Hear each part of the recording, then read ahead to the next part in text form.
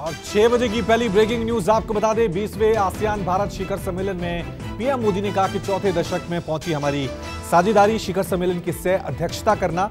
मेरे लिए सम्मान की बात, पीएम मोदी ने कहा, आसियान में सभी देशों की आवाज़ सुनी जाती है, हम पूरी दुनिया में ग्लोबल साउथ की आवाज़ उठाने के लिए प्रतिबद्ध हैं।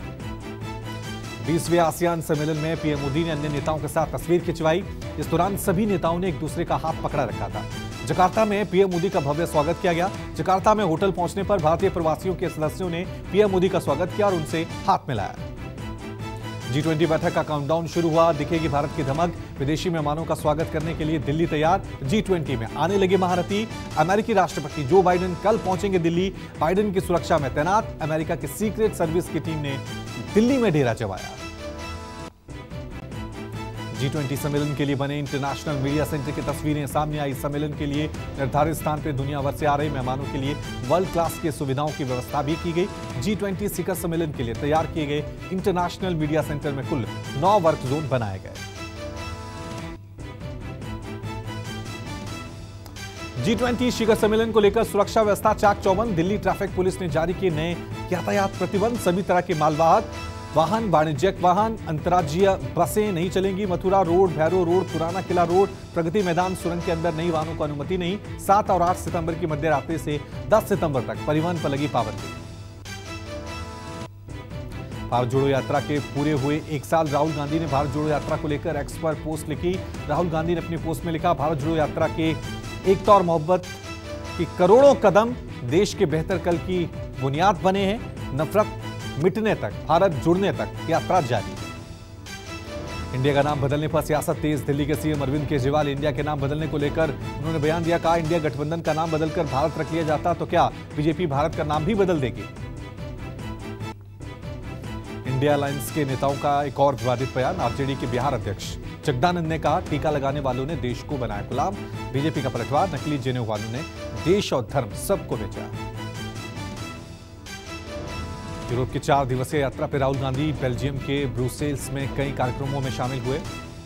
यूरोपियन यूनियन के सांसदों के साथ भारतीय समुदाय से करेंगे संवाद। आठ सितंबर को पेरिस की एक यूनिवर्सिटी में छात्रों को संबोधित करेंगे राहुल। भारत नाम पर सियासत जारी है। नेशनल कॉन्फ्रेंस के उपाध्यक्ष उमर अब्दुल्ला ने कहा, हमारे संविधान में दोनों नाम दर्ज हैं। देश को तकलीफ़ में डालने से अच्छा हम नाम बदल लेंगे। उमर अब्दुल्ला ने कहा, प्रधानमंत्री कहाँ से कहाँ इंडिया शब्द हटाएँगे? एसबीआई, आईआईटी, इसरो, इन सबके नाम बदलने होंगे। आरएसएस प्रमुख मोहन भागवत ने आरक्षण पर बड़ा बयान दिया, कहा, जब तक हमारे समाज में भेदभाव और असमानता मौजूद, तब तक आरक्षण जारी रहना चाहिए। भागवत बोले, अगर युवा अखंड भारत के लिए काम करते रहेंगे तो बूढ़े होने से पहले इसे साकार होता देखेंगे। उदय निधि के सनातन को लेकर दिए बयान पे स्मृति ईरानी का बयान, कहा, जब तक भक्त जीवित हैं, कोई नहीं दे सकता आस्था को चुनौती। दिल्ली के द्वारका में जन्माष्टमी महोत्सव पर बोलते हुए कहा, हमारी आवाज़ उन लोगों तक पहुंचनी चाहिए जिन्होंने सनातन धर्म को चुनौती दी। सोनिया गांधी ने पीएम मोदी को चिट्ठी लिखकर संसद के विशेष सत्र की जानकारी मांगी। सोनिया गांधी ने लेटर में कुल नौ मुद्दों का ज़िक्र किया। सोनिया गांधी ने स्पेशल सेशन में पीएम मोदी से महँगाई, बेरोजगारी पर चर्चा की मांग की। प्रहलाद जोशी ने कहा कि विशेष सत्र बुलाना सरकार का अधिकार। नेताजी सुभाष चंद्र बोस के पोते चंद्र बोस ने छोड़ी बीजेपी। जेपी नड्डा को लेटर लिखकर दिया इस्तीफा। कहा, पार्टी ने वादा किया था कि वो नेताजी की विचारधारा को आगे बढ़ाएँगे, लेकिन कुछ नहीं किया। आज देश भर में कृष्ण जन्माष्टमी की धूम, मथुरा, वृंदावन में कई कृष्ण मंदिरों में श्रद्धालुओं का तांता, वृंदावन के बांके बिहारी समेत सभी मंदिरों को रोशनी और फूलों से सजाया गया। सुबह से ही देश विदेश से श्रद्धालु कान्हा की नगरी में एकत्र होने लगे। मुंबई में दही हांडी उत्सव की धूम, दादर और दहीसर में गोविंदा इकट्ठे हुए। मुंबई में दही हांडी देखने के लिए देश विदेश से लोग पहुँचते हैं। किसी भी तरह की घटनाओं से निपटने के लिए बीएमसी ने कमर कसी।